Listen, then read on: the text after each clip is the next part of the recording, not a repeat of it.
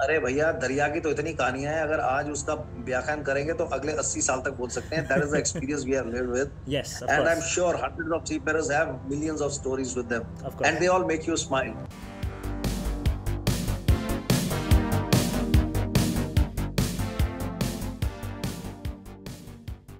What's up, you guys? Welcome back to the channel. It's been a while since we've done a good amount of maritime work on this channel, and I know I haven't gone back to sea yet, but we all know the state of the pandemic, and it's been a tough time for Indians absolutely everywhere, you guys. But don't worry, we have a really, really special video for you guys today. Now, over the last two years, it's been a really, really hard time, specifically Indian seafarers, because traveling, signing on the ship, signing off the ship has been extremely hard, and also because Indians have had so many restrictions put on them by various countries for travel, we have had a tough time with getting jobs, irrespective of being frontline or key workers in getting vaccines in this country. So in today's video, I have somebody really special who's going to break down the state of the Indian seafarers and he's also going to break down the future of Indian seafarers for you guys. I get a lot of questions on this channel about whether the merchant navy is a good industry to join, whether it's a good career, whether it's going to be a good profession and whether there are going to be jobs available in the future for Indians. Today, we're going to break down all of those questions for you and I'm not going to be the one who's going to do it. We have a really special guest who's going to answer all of your questions. Now, the person that we're talking about today, Captain Sanjay Prashar, who we all know as freedom fighter for the maritime industry. He was the man behind the largest airlift and rescue of seafarers in 2020 when a large number of us, especially Indian seafarers, were stuck at sea way beyond our contracts. So he was the man and the force behind that rescue drive. He is also the man who is currently fighting to implement seafarer vaccinations and to give seafarers walk-ins as we are essential key workers, we are frontliners in this country. His Twitter account is flooded with a lot of questions and a lot of comments by seafarers all over the nation, and that's why I figured he's the best person to talk to. Now, Captain Prashar is not only advocate for the maritime industry, he is also the member of the National Shipping Board, which is the highest committee in this country, which basically works towards the future of the maritime industry, and it's also the highest advisory committee in this country that works for seafarers. If you're an Indian seafarer, you already know who Captain Prashar is. He's also the man who always gives you all the information that you need regarding sign-offs and grievances. Without wasting any further time, we're going to jump into this interview that I had with him off late. I hope you enjoy it. Let's not waste any time. Let's get into it. Okay, sir, welcome to the channel. This video is for seafarers and boss all Indian seafarers. हम आपको जानते हैं as one person who we can go up to whenever we have any doubts. Everyone always rushes to your Twitter account. We have always known you as somebody who can give us answers. Of course, आजकल DG shipping की वजह से we have lots of information on the internet and DG shipping also is taking initiatives to promulgate circulars and information. But कभी कभार वो समझ में नहीं आता. We don't understand whatever is written because of the kind of English and, and there are a lot of young seafarers who can misinterpret things. So we always come to you.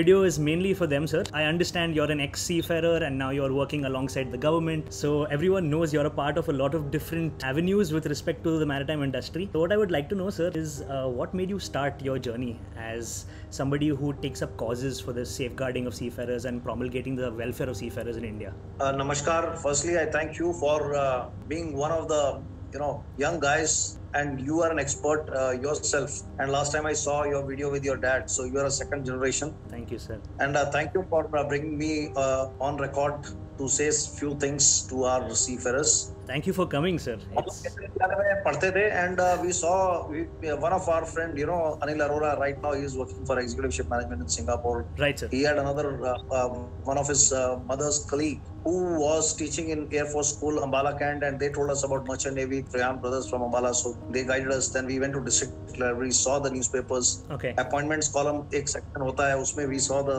advertisements there हाँ जी.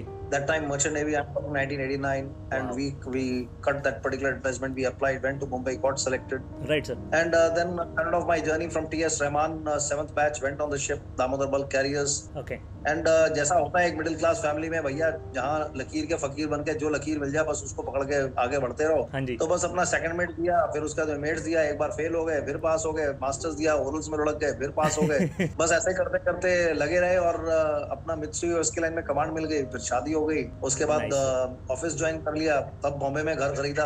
तो ज़्यादातर सीमेन लोगों को तो मैं यही बोलूँगा भैया शादी से पहले घर खरीदना मेरी किस्मत अच्छी थी कि अच्छी बीवी मिली चलो शादी के बाद घर ले लिया अदरवाइज़ सारे पैसे जो हम रिश्तेदारों में इधर उधर अंदर मार देते हैं। Right right sir and as far as seafaring is concern I love this career and once a seafarer always a seafarer दुनिया के बयासी देश घूम के पाँच से ज़्यादा बंदरगाह देख लिए घाट घाट का पानी पी लिया। चाहे अस्सी घाट गंगा जी का हो चाहे दुनिया के घाट हो तो we have been there you know so I I think experience never fails you yes so I am so happy that being from middle class family father served in Indian Air Force retired as colonel leader and for us it was a fantastic journey and it has been a fantastic journey till now I am sure sir I am sure you are also helping younger sea farers understand more about the maritime industry, as I can see. Sir, what made you come to a point where you decided to decide to help seafarers and guide seafarers after quitting your sea journey and coming ashore? Because we see we have a lot of social media influencers who do maritime-based vlogs, but yours is not like that. It's not about building a following. It's if you look at any of the information you put out, it's purely with respect to education and guidance. So, what made you take up this cause, sir? I follow my seafarers, and uh, if anybody follows me, that's fine. But basically, I follow seafarers. Right. And when you follow seafarers, you understand that for one job there are hundred applicants, and uh, to do one particular job with DG or MMT, sometimes seafarer gets stuck. Hanji. And uh, being a National Shipping Board member and dealing with DG Shipping for quite some time, I have Yes. found that you know it's uh, it's uh, how you put across your things and how you communicate is very important. Right, sir. And you should know the right channels and right channels, of course, DG shipping, right emails and right offices. You should be able to correspond. But ये हर एक के बस में नहीं होता है कई बार ये Correct. थोड़ा बहुत मुझे लगता है 90 परसेंट सीफरस खुद कर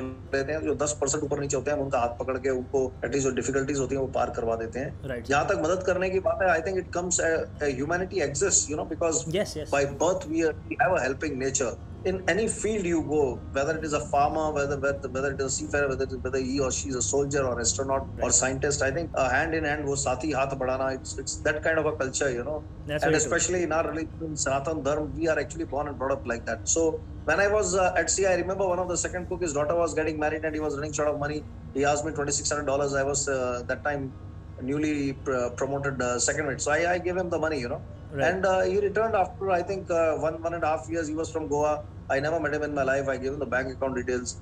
So I think seafarers helping seafarers on the ship is very much happening. It's just that when I stepped ashore, I thought I must continue the same culture. So I'm just continuing what I learned on the ship and what my seniors did Right. with us. They helped me. It's pretty simple that way. It's really nice to hear also about your experiences at sea, sir. If you have anything special that you have experienced while you were out at sea and you want to share with a lot of young seafarers, I was a lot younger as a cadet, and I used to keep talking to my father and his friends who are also sailing, and there's so many stories, and shipping has changed over time. So, if there's something you'd like to share, something more, any other stories? अरे भैया दरिया की तो इतनी कहानियाँ हैं अगर आज उसका व्याख्यान करेंगे तो अगले 80 साल तक बोल सकते हैं। That is the experience we have lived with yes and I am sure hundreds of seafarers have millions of stories with them and they all make you smile I remember when I was you know chief mate and in Israel national we were discharging the cargo and grab hit the tank top oh. and uh, tank top Wow.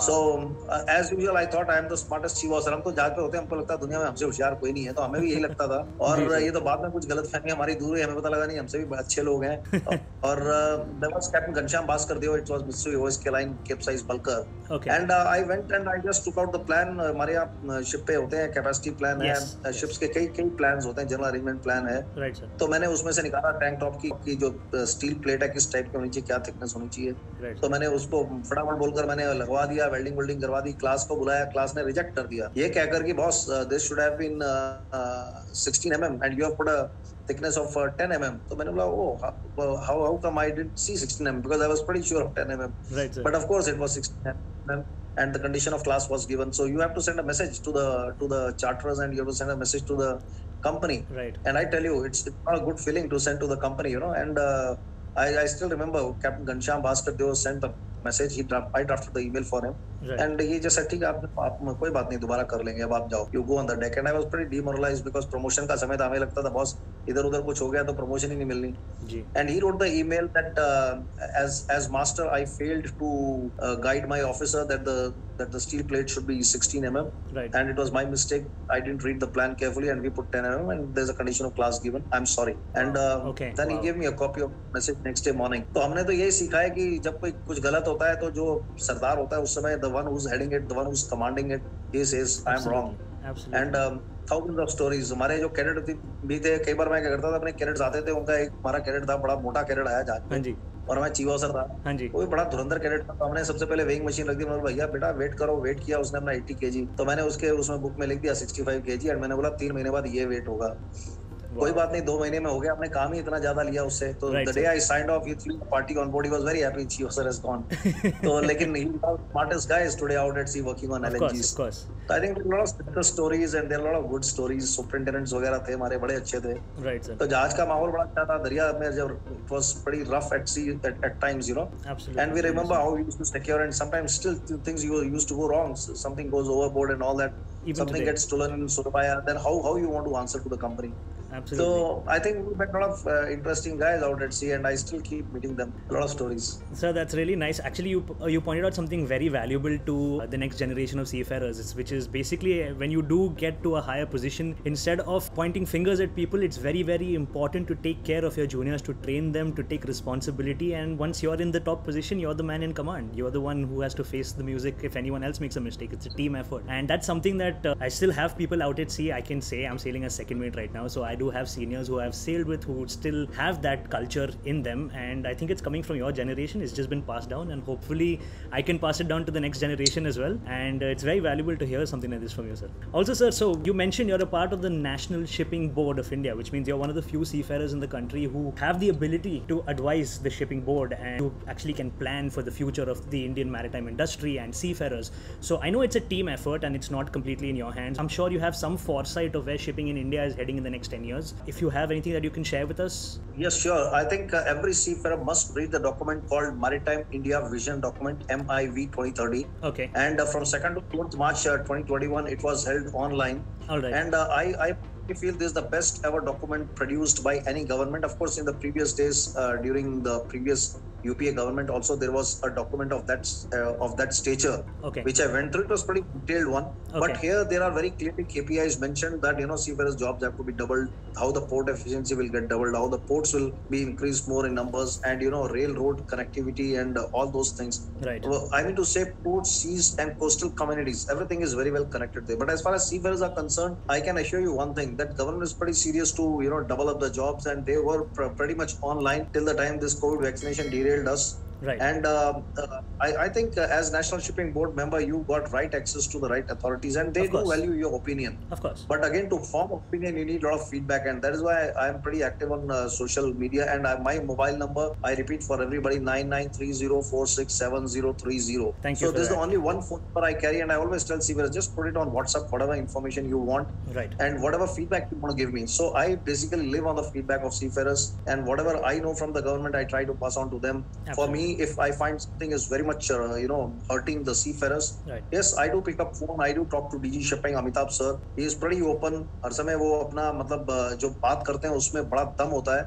Right. A man with lot of uh, wisdom. Right. And when I talk to the Honorable Minister of Shipping, Mansukh Mandviya ji, a man with vision, you know, and he's got his heart, uh, you know, soft corner for the last man standing. Right. I've seen him really literally having tears in his eyes when he meets the people, you know, when he when there's a case of compensation for loss of life Right. at sea or Malaysian uh, Indian seafarers lost in Malaysia and Yes, you know a lot of other cases, Yes. human right abuses cases. So I think um, Maritime India Vision document is the benchmark, Okay. and uh, this government uh, is able to achieve or not achieve, that's not the question. India will achieve, I'm pretty sure about, and Okay, the doubling of will happen by, in my opinion, by 2029 or 2030. Okay. Right now, right now we say that there are about uh, 4 lakh uh, seafarers, 3 lakh are active, employed are 2.35 lakh per year, Right. and I think this will certainly go up to uh, 5 lakhs by 2029 or 2030. Okay. And Honorable Minister of Shipping Mansukh Mandviya is in direct touch with a lot of ship owners and ship managers overseas. 90% of seafarers are employed on foreign ships. Yes. So I think the growth sector will be offshore. The Okay. growth sector will be rigs. The growth sector will be fishing vessels which are trading overseas, especially for tuna fishing. Okay. The normal uh, seafaring, what is happening, including the cruise line, I think that will see a probable growth, but doubling will happen because of these three sectors. Okay. But there will be growth in practically every sector is what you foresee for the Indian seafarers. ये तो देखो ये तो 200 percent होगा इसमें सिर्फ एक बात संभालने वाली ये है Right. कि as far as the placement record of the maritime training institutes are concerned, I think more transparency is required.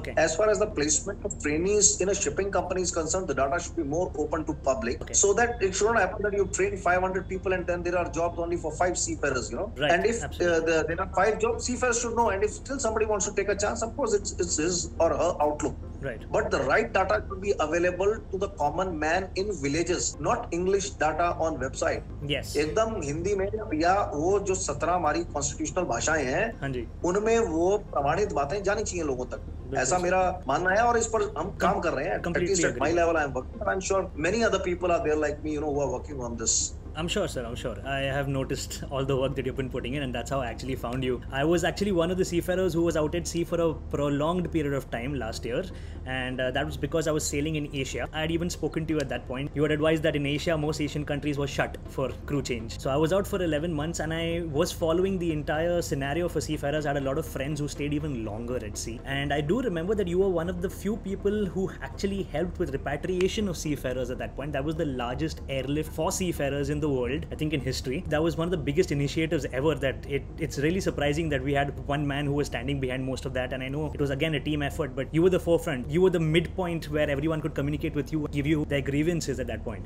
So I do remember that, and I do respect that. Thank you so much. Uh, I appreciate uh, you doing 11 months, and I appreciate every seafarer who went beyond the call of the duty. Absolutely. Because and uh, also those seafarers who could sustain themselves by staying more than one year unemployed at home, Absolutely. just because they they knew that there will be a better tomorrow for them. Yes. And when it came to the question of uh, having flights, uh, Himachal Seafarer Association Right. uh, during one of the conversations, web-based webinars with the Honorable Minister of State for uh, Port Shipping and Waterways, Sri Mansukh Mandaviya ji, where he declared that you know seafarers will be allowed to have special flights and uh, companies can ask permission for it. SOP was drafted. I was part of that uh, particular team I remember. which this. drafted the SOP, and I was pretty happy that you know I could apply for the permission. I thought okay, we'll apply because there was one ship we had to take over in Japan. So I thought ठीक है एक plane charter करेंगे भेजेंगे. Yes. अब हमने कभी बैलगाड़ी नहीं चार्टर करी या जहाज नहीं चार्टर किया अब हमने बोला चलो प्लेन करना है बट वो समय ऐसा था कि you had no choice you know it's it's do और die you no Right. and I thought even if one job is saved, I'll still do it. And when we applied for the permission, it took some time because bureaucratic uh, wrangles are always there. You know, the trust factor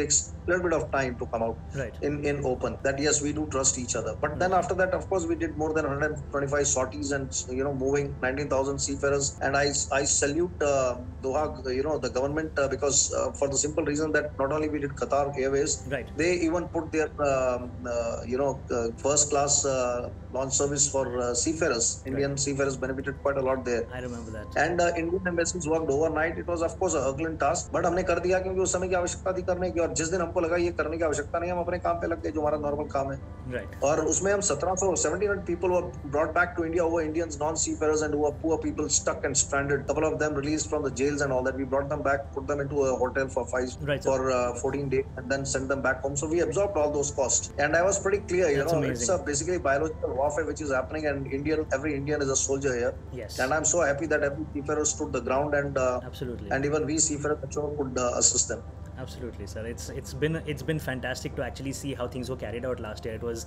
there was a point where we started uh, exceeding our contracts and our companies were trying their best, but we didn't see anything that could happen until we saw your airlifting drive that took place worldwide. It was it, I think it's world famous at this point, sir. So again, I would personally, At as a night seafarer, time, night 11 o'clock, uh, night 11 o'clock, I called up one day Honorable Minister of uh, State for Port Shipping and Waterways, Shri Mansukh Mandaviya ji. right? मैंने बोला sir हमारा हवाई जहाज सुबह चार बजे जाएगा हमें परमिशन नहीं मिल रही है हमारे धुएं निकले हुए हैं मैंने बोला सर ये तो कोई तरीका नहीं हुआ ना सारे सीफेयर्स को आप एकदम ठेल दो उधर एयरपोर्ट में and then we are we are stuck and you know we need your help Right. And of course, he was very kind. You know, we got the permission by I think one o'clock or something, and then of course the flight took off a bit, bit hour, one hour late or something. But then look at the look at the speed with which you were working, and look at the support Absolutely. what uh, we got from the minister himself. You know, I think that freedom to give a call to the honorable minister night uh, 11 o'clock. Not many seafarers know, but that's how India is changing, and India is. I was just going to say that uh, it's really surprising that you got this much support from the government and such such immediate support, which is fantastic. I think uh, as seafarers, we do hear about things that DG Shipping is doing things, and we do hear about the government making efforts. But then again, it takes time for the information to reach us. There are so many different outlets on the internet, so not always your information that you receive is accurate. And uh, that's exactly why I wanted to sit down with you and have a conversation with you about these things because you know both sides. You see two sides of the coin. You talk to Indian seafarers and you associate yourself with the government and you work with them, so it's fantastic. But sir, uh, bringing me back to seafarers, this year the pandemic has put us on a back foot, and uh, I do believe a lot of seafarers have lost jobs. Indian seafarers are being called frontliners and key workers by DG Shipping. There are articles which I will be putting up in this video for young seafarers to see. But there are a lot of seafarers or a lot of future seafarers, people who want to join the merchant navy, who are concerned about the availability of jobs and uh, especially vaccines for seafarers at the moment.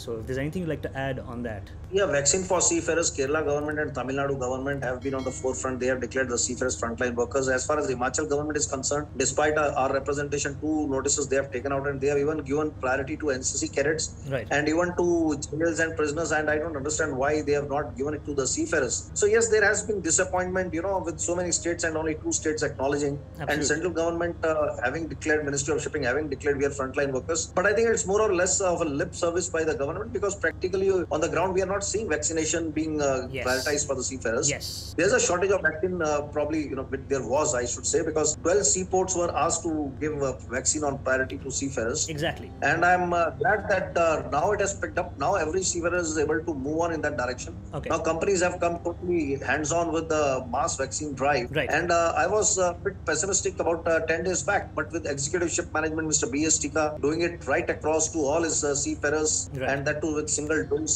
it's a different. Then it is a different one as compared to the one which government is doing. Right. Anglo Eastern coming out in full Yes. strength, Synergy coming out in full strength. We as VR Maritime Services, we have done already 50% of our seafarers Okay. uh, vaccine, you know. And uh, I think uh, uh, now I'm pretty optimistic that by 15th August or by 31st August, you know, I, I would see that 90% of the on-leave seafarers who are active seafarers, when I say active means at least you have done three ships Right. and you have your watch keeping as rating or uh, 2 by 4 or 2 or 3 by 4 Right. as officer you have your so it's not about just cadets and TMEs Absolutely. you know there of course the vacancies are pretty less people are high in number Yes. but uh, by September, I see 100% in order, Okay. and uh, Indians are good, so they will bounce back. Okay. Yes, there's been a small uh, one two month lapse where other nationalities have taken up more jobs and Indians have been replaced Yes. on let's say about very close to 5,000 to 6,000 jobs. Yeah. So, but um I'm pretty sure by August or by uh, September we will see a change, and by next year uh, February will be right on the track. Right. So Okay. we, we at we seafarers out at sea we know how to secure jobs, Absolutely. and we will. Absolutely, I'm sure. I'm sure we will, sir. I'm looking to go back soon too, and uh, definitely, if I have to stay another 11 months for the industry, I would do that. There's no doubt about it. So you mentioned that there are uh, 12 seaports in India, which DG Shipping has put out a circular for, stating that they have to vaccinate Indian seafarers on priority. I do see that Mumbai port is one of them, but uh, I'm not 100% sure if all of these ports are giving vaccinations at the moment. You already mentioned there is a shortage, or there was a shortage of vaccinations of late. And are you aware of which of these 12 ports are giving vaccinations, other than Tamil Nadu and Kerala states in general? on, on all 12 ports are giving vaccination now and Okay. i think vizag is one of the best as far as i get the feedback every seafarer goes there with a copy of uh, coc and with a company letter and all that Okay.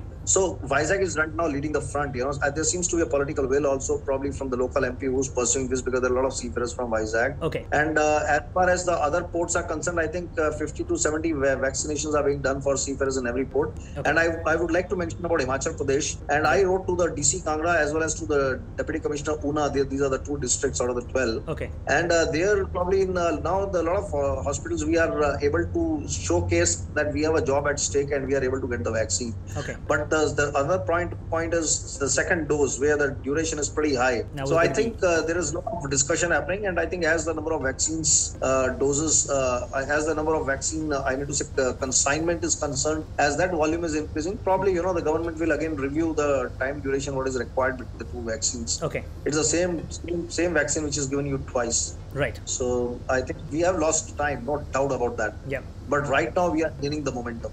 Okay, that's fantastic to hear, sir. So then it's really, really good to know that all 12 seaports are currently providing vaccines, and Vizag is the headliner for all of this. But, sir, I have another question. I keep getting asked by a lot of younger cadets nowadays who say you have to register on DG Shipping's website and also register on the CoWIN app. And is that the procedure to go to Mumbai Port Trust, for example, if you have a young seafarer in Bombay who wants a vaccine? Or any to every seafarer I, I would go one step forward. I think DG Shipping should have a data that uh, you cannot do your e-migrate probably after 31st August or you know or you need a waiver for that. We should know how many seafarers have got vaccinated and how many not, and that should be from DG Shipping website Right. because uh, when you have to talk about employment, I think vaccine is pretty important. Yes, you have to register if you go to uh, Mumbai Port Trust or others other port trusts. Okay. And I see no, no harm in doing that. No, And absolutely. it's not a big job. It's a pretty simple job, you Yes, know, yes. with online. Yes, some people may have some problems of going doing all this from his, their mobile phone because internet भी हर एक जगह available नहीं है and it should be more of app based Yes. which is not the case with DG shipping. So that is a disappointment that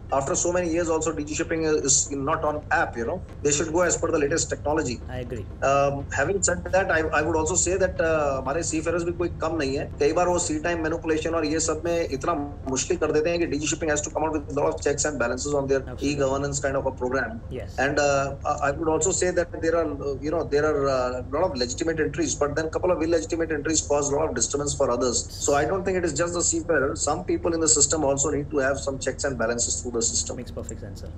So, also with respect to the vaccines, there are a number of vaccines available in India. We have Covishield, Covaxin, Sputnik. Sputnik's not really available widely at the moment, but it's here in India already. Uh, there was some talk about Covaxin not being approved by WHO. So, will that cause any trouble? Because, I mean, yes, if you go to the Mumbai port, you go to another 12 designated hospitals, or if you get vaccinated from a company, they are all prioritizing Covishield.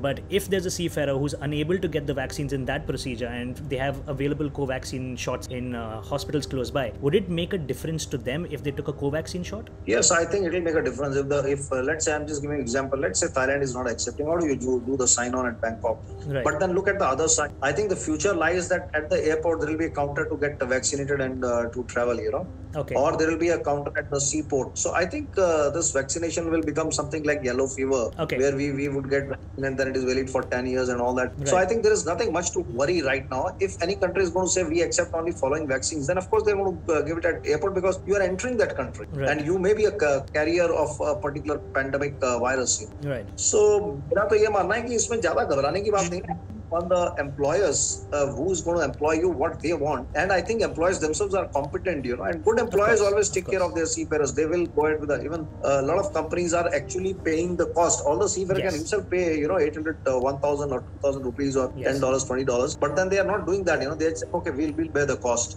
Right. so I think it is it is uh, up to the employer first to decide what he wants, and it is up to the employer to guide the seafarers who are employed with them, Right. rather than leaving the seafarer at large to find the information for himself and defend. Right, that makes a lot of sense. Uh, so basically, Covaxin should may be a problem, may not be a problem, but uh, what is your final advice in simple words? Should seafarers take Covaxin or not?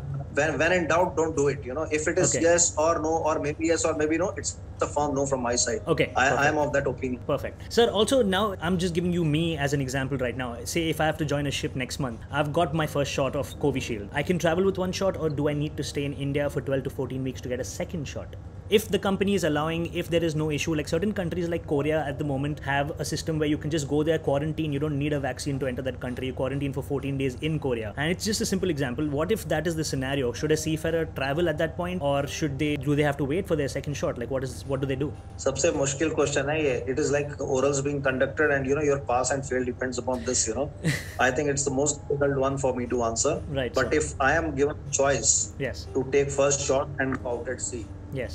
as far as i am concerned i will do it Okay. i will go out with the single shot and then uh, i think uh, for me the job is equally important and i'm pretty sure that employers and the other countries have thought about it before they put me on the ship and as far as i am concerned i am also sure that you know i can take one shot vaccine which will be available Right. in that particular country Right. so it, it can get complicated Okay, fair enough. Take that. I will also go out to sea with one shot, so I have no problem with that.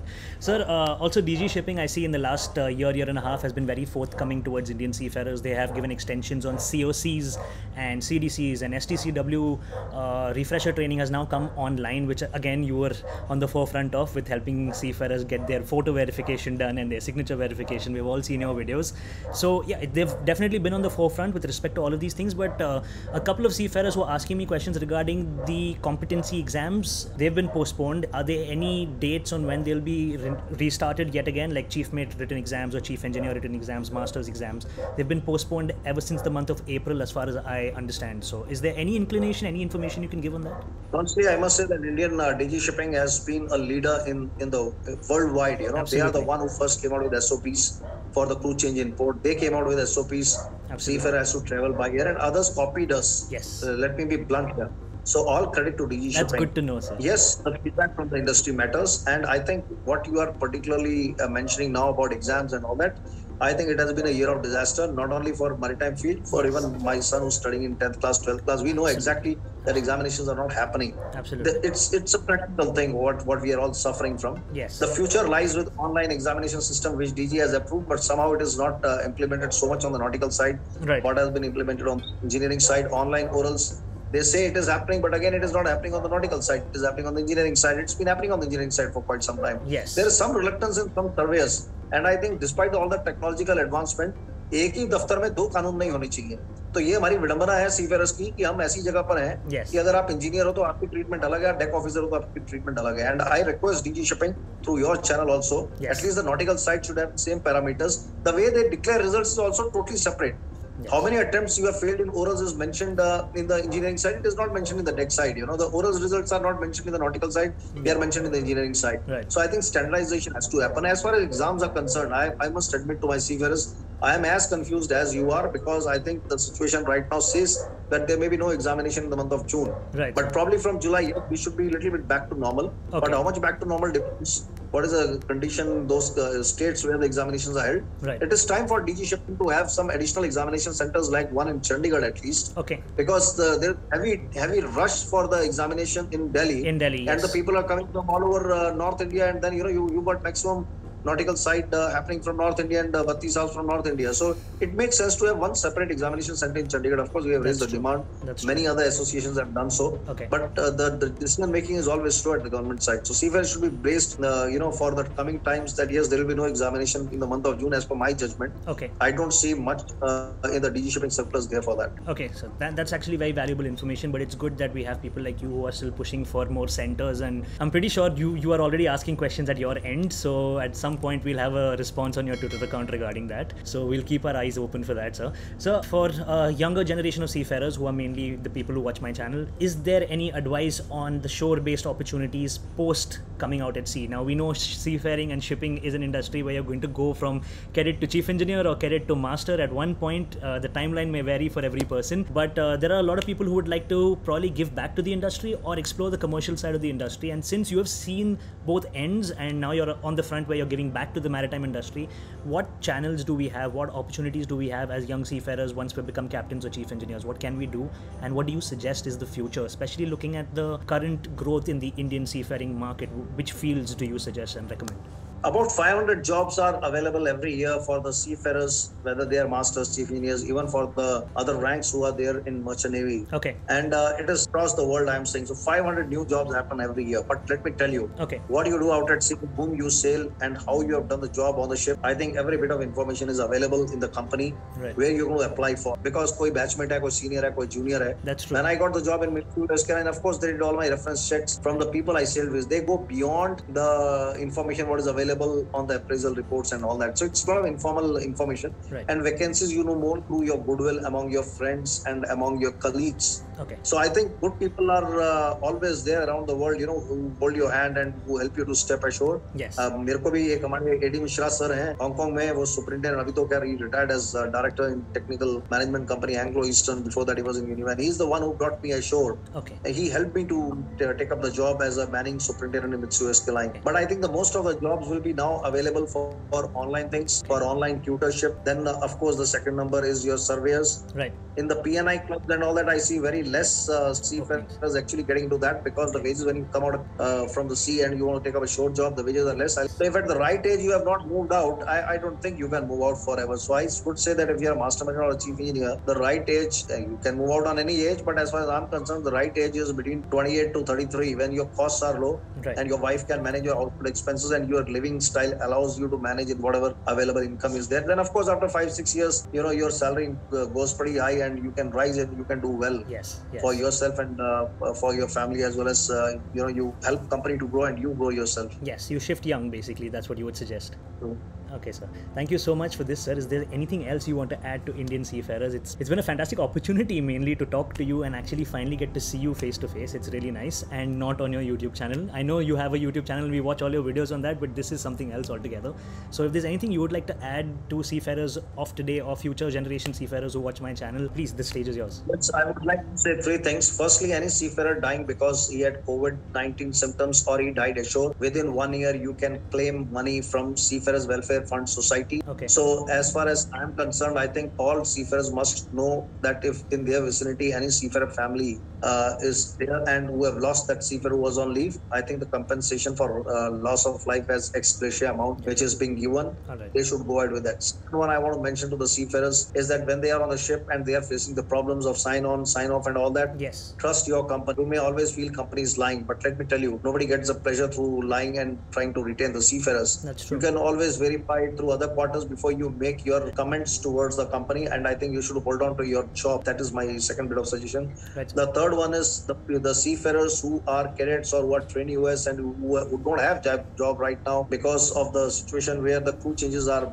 absolutely you know minimal and uh, That's true. Yes. there is there is still a hope as far as I'm concerned. Everybody may not be able to get the job, but I'm sure the one who pursues sincerely, Yes. at least the hope will make him go and review how I can get job, and he has to just keep applying and pursuing. Right. The companies are bound to open pretty soon. Right. And I think whether you get a job on a tugboat or you get a job on a you know 40 meter long boat, they should not say sir मेरे को ivy जहाज़ मिल रहा है टग मिल रहा है मेरा ज़िंदगी का क्या होगा ये सब बात नहीं करना चाहिए। मुझे लगता है जॉब जॉब होता है। Yes. And experience never goes waste so the first job what you get भगवान का शुक्रिया अदा करो उनका शुक्रिया अदा करो जिन्होंने आपको वहाँ तक पहुँचाया। So I think there will be jobs coming so don't lose hope these are my three messages for the seafarers Thank you so much, sir. It's been a pleasure talking to you, and I'm really, really grateful that you actually took out the time with me today. I will stay in touch, and I will always keep following your YouTube channel and Twitter account. All the information that you give us is extremely valuable. So I would like to give you a massive thank you, not only from me, but from the entire seafaring community and everyone from my generation. I, I thank you and your father please do convey my regards to him I and i'm a big follower and i'm a fan of yours Thank you, i'm sir. so happy that at least i'm able to interact with you thank you so much you're doing a wonderful job keep it up Thank you, sir. Have a good Jai day, and I will talk to you soon. Take care, sir. Alright, you guys, that was the interview that I had with Captain Prashar. You guys have heard all about the vaccination drive, the future of seafarers in this country, the future job opening prospects, and what the Indian government is doing for seafarers and where the shipping industry is going in the near future. So, definitely hit that subscribe button, give this video a like if it helped you out and cleared your doubts. I'm leaving Captain Prashar's YouTube channel in the description as well as his Twitter profile in the description. He is always available, and I'm also putting up his mobile number right here for you guys so you can contact him directly. He's the perfect person to talk to if you have any doubts regarding the merchant navy in India. And if you're somebody who's aspiring to join this industry, if you want any advice, definitely talk to Captain Prashar. I hope you enjoyed this, and I will be going back to sea very, very soon. So things are definitely looking up. Stay tuned for more. There's going to be a lot more of life at sea and tech reviews on this channel because that's what we do. Thanks for watching another video on my channel. This is Nitin Chawla. Peace.